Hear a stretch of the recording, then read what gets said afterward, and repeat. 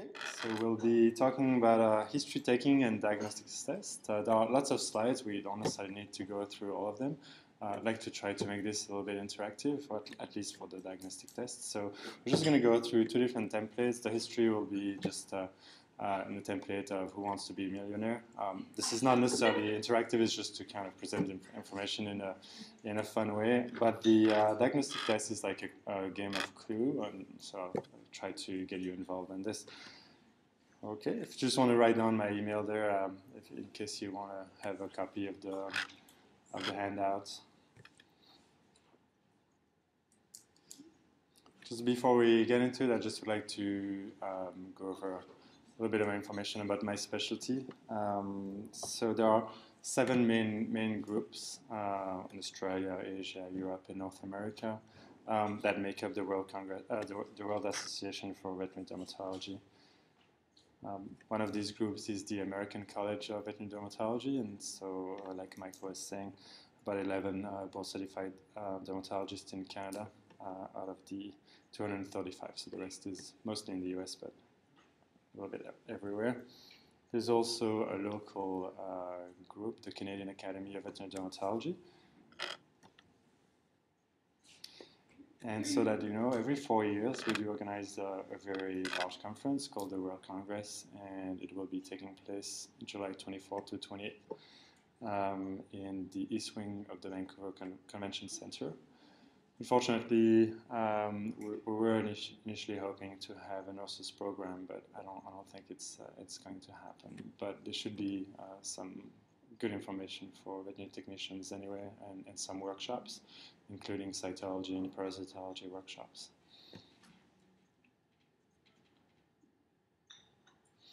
There's also a newsletter that we put out. Um, I don't know if uh, you guys are familiar with this, but um, it gets uh, mailed every three months to most of the clinics in, in British Columbia. So that's the history, the history uh, part. Okay, so who wants to be a good uh, dermatological history taker? Do you guys typically take histories for, for your doctors? Um, so I'll just go over about basically 14 main questions uh, that uh, need to be asked if, if you have the time. It does take uh, a while to, to take a good history. So that's just uh, all based on the on that movie, The Slumdog Millionaire. So the breed of the patient is important because, for example, atopy, which is um, also known as environmental allergies or canine atopic dermatitis, is, is very common in certain certain breeds. I certainly see a lot of Shih Tzus, for example, but the Labs and the Goldens and, and the Westies. Uh, so the breed is, is important uh, for, for an, allergic skin disease such as uh, atopy. Sebaceous hidradenitis, which is um, a skin disease that affects the sebaceous glands and that causes hair loss, um, is, for example, very common in, in poodles and Vizslas. So again, the breed is important. Uh, alopecia X, which is another um, skin disease with alopecia, is, is, very common in the Pomeranian. Um, and ringworm uh, is, as you all know, very common in the Persian cat. Um, do you guys know the equivalent of um, the Persian in, in the dog for, for ringworm? What, what would be a, a, a small breed that commonly has uh, as well? So the Yorkie is kind of the equivalent of the Persian in, in, in the dog. Another really important question is to find out how old the patient was when the skin disease developed typically the very young patients are, are affected by parasites. So that's uh, the perfect example is uh, young mites in puppies and kittens. Um, allergies tend to affect young young adults. Um, middle age is typically more uh, the endocrine diseases like Cushing's or hypothyroidism, um, while obviously neoplasia needs to be considered in older patients. How long has the disease been present and how did it progress? So an acute onset, for example, would be indicative of, of scabies. So if you see a dog that is extremely pruritic, um, and typically you'll see lesions at the margin of the pinnae, uh, the elbows, and the hocks, and that's usually a very acute onset. That would be a perfect example of, of a dog with scabies. Allergies tend to kind of get worse progressively, so it does take a few months, a few years to kind of get to the to the peak. Um, so you might want to express this in days and weeks and months or years, but you know you need to know how long the present the disease has been present. And sometimes you won't have the luxury of finding that out. Uh, you know, we see a lot of uh, stray and rescue dogs, and you have no no history.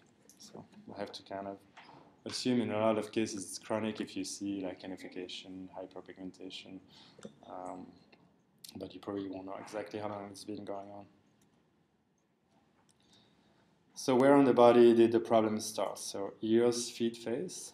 Um, very typical of allergies. If you have pruritus in these areas, you should probably assume it's, it's an allergy.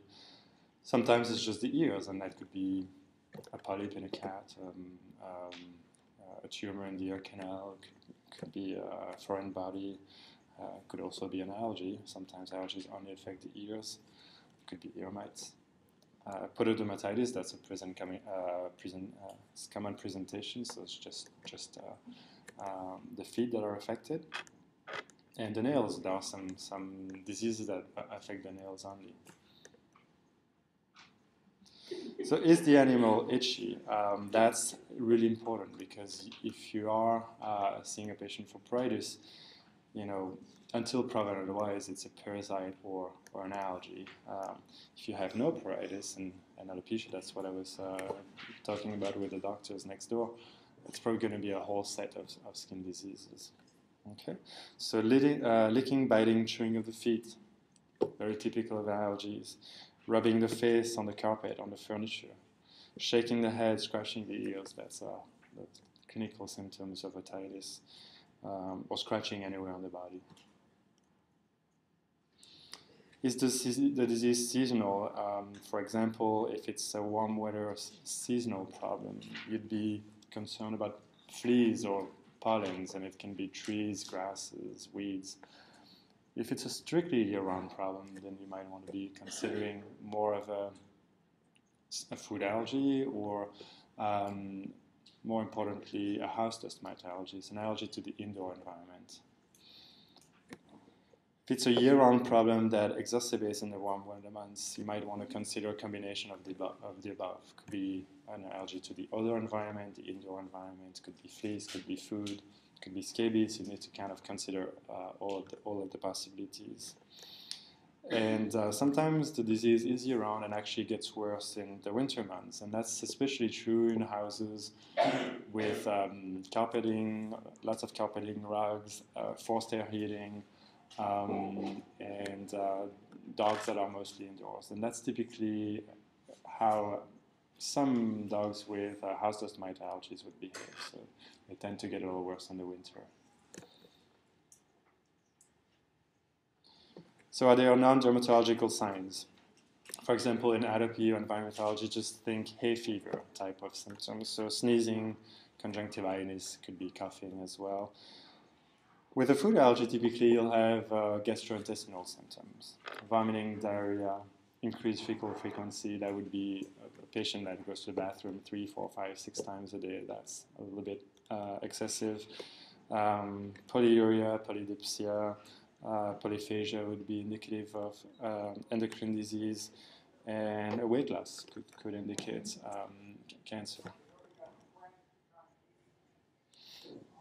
So you want to know what the diet is, um, and that sometimes is a little, a little, bit difficult to find out exactly. You need to ask about treats, you need to ask about dry food, canned food, um, any table scraps. Um, in the case of a, of a year-round um, pruritus, you need to know, you know, what if a special diet or hypoallergenic diet was used in the past, if it was raw, home cooked, if it was commercial, if it was over the counter, uh, if it was by prescription, and was it fed correctly? Was it done very strictly for a period of uh, six to ten weeks, like uh, like it's supposed to do?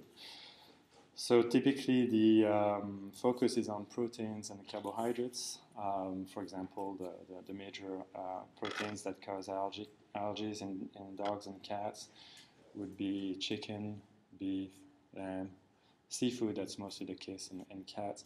But it could also be the carbohydrates, and so we're talking about all the grains, corn, wheat, rice, barley, oat. So you know, ideally you'd use a, grain-free diets. And typically, a grain-free diet means a diet that contains sweet potato or potato uh, or green pea.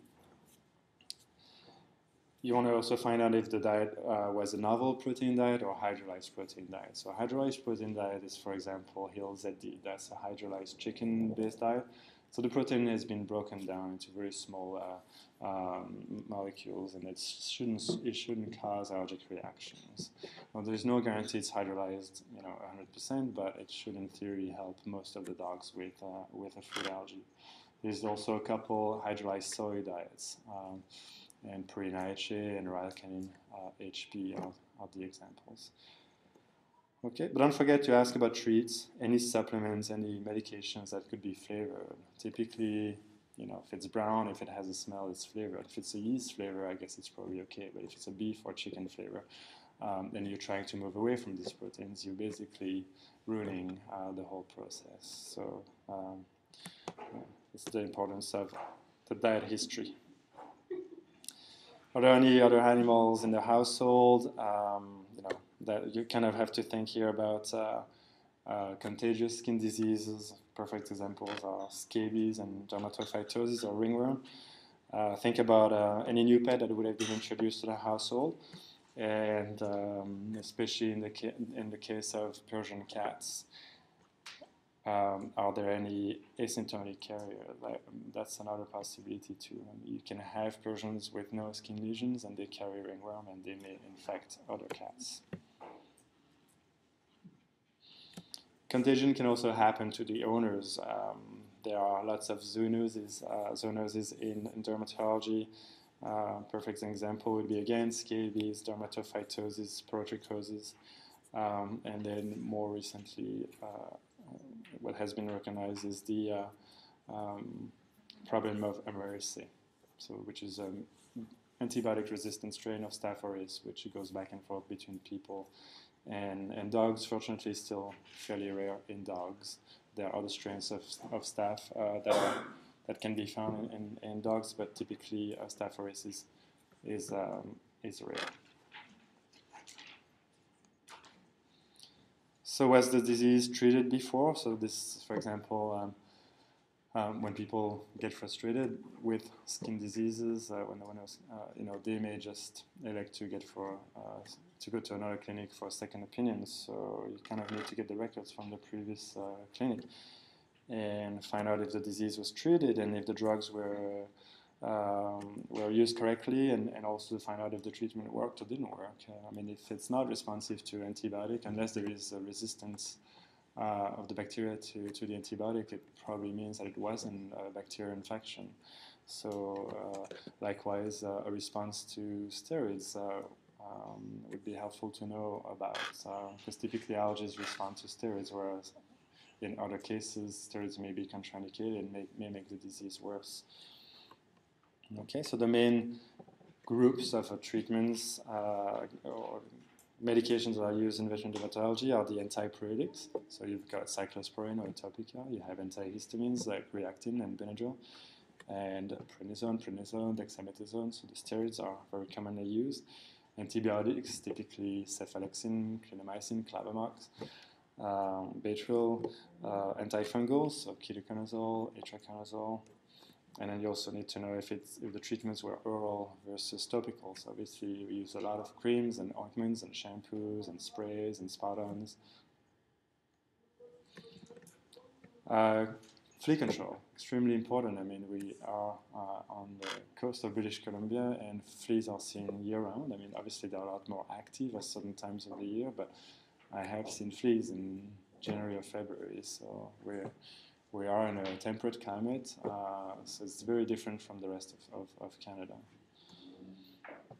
There are multiple um, uh, drugs that are used, Advantage, Advantage Multi, Canine Advantix, Revolution, Sentinel Program, Interceptor, there's a new, uh, a new one, um, uh, can't think of the name right now, but it's, a, it's a, another oral medication. And then you also have a whole bunch of over-the-counter products.